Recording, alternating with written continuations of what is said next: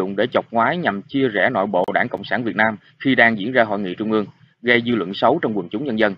Khi tổ chức đảng tại Đà Nẵng không tốt, gây dư luận xấu, Bộ Chính trị đã chỉnh đốn kiện toàn lại bộ máy, đặc biệt là người đứng đầu của thành ủy.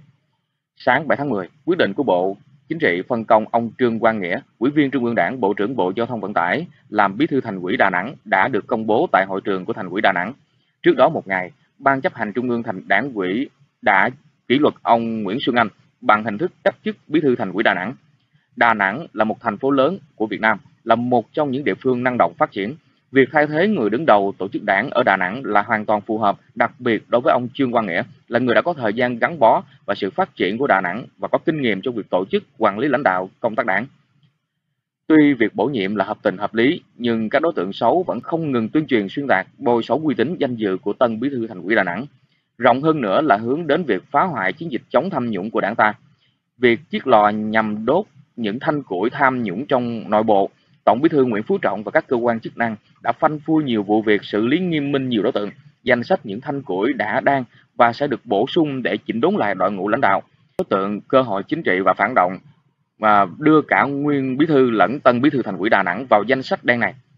Mọi hoạt động, hành động đều nhằm hạ bệ uy tín, mất lòng tin của quần chúng nhân dân vào đội ngũ lãnh đạo.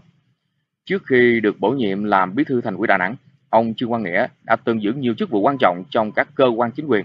Ông Trương Quang Nghĩa có 16 năm công tác trong quân đội và từng tham gia ban lãnh đạo thành phố Đà Nẵng. Tháng 5 năm 2008, Ban Bí thư đã điều động ông từ vị trí Tổng Giám đốc Tổng Công ty Cổ phần Xuất nhập khẩu và Xây dựng Việt Nam Vinaconex vào giữ chức Phó Bí thư Thành ủy Đà Nẵng nhiệm kỳ 2005-2010, phụ trách công tác xây dựng tổ chức cơ sở đảng. Đến tháng 9 năm 2010, ông ra Hà Nội giữ chức Phó Bí thư Đảng ủy, sau đó là Bí thư Đảng ủy khối doanh nghiệp Trung ương. Tháng 6 năm 2012, ông được Bộ Chính trị điều động giữ chức vụ Bí thư tỉnh ủy Sơn La. Đến năm 2016, được điều động giữ chức vụ Bộ trưởng Bộ Giao thông Vận tải. Ông Trương Quang Nghĩa là một của cán bộ kinh nghiệm và tâm huyết với công việc, đặc biệt sẵn sàng nhận trọng trách, nhận khuyết điểm. Đà Nẵng là nơi nuôi dưỡng, là nơi mà ông Nghĩa phát triển, trưởng thành. Vì vậy, trong buổi lễ nhận quyết định, ông Trương Quang Nghĩa đã thể hiện quyết tâm cao độ và tư tưởng cầu thị của mình. Như cá nhân tôi thấy rằng những ý kiến chỉ đạo của Bộ Chính trị là mong muốn nhiệm vụ tôi phải thực hiện. Tôi mong muốn các đồng chí trong ban chấp hành, nhân dân Đà Nẵng, lực lượng quân đội ủng hộ để tôi thực hiện tốt nhiệm vụ trong thời gian tới. Chỉnh đúng đảng và nâng cao chất lượng đội ngũ lãnh đạo luôn là nhiệm vụ trọng tâm của Đảng Cộng sản Việt Nam. Công tác này được chú trọng thực hiện trong nhiều năm qua. Mặc dù vậy, các thế lực thù địch vẫn luôn tìm mọi cách để xuyên tạc, phá hoại vấn đề này.